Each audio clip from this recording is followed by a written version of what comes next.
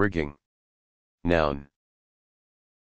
1. Dress, tackle, especially, nautical, the ropes, chains, etc., that support the masts and spars of a sailing vessel, and serve as purchases for adjusting the sails, etc.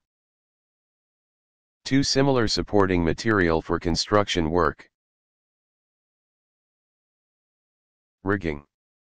Verb. 1. Present participle of rig.